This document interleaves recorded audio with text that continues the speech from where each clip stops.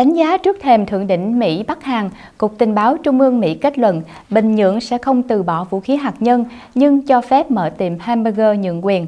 Thông tin trên được đưa ra dựa vào báo cáo của CIA gửi cho các quan chức cấp cao Mỹ. Đài NBC News dẫn lời một quan chức tình báo giấu tên tiết lộ Bắc Hàn sẽ không giải trừ vũ khí hạt nhân.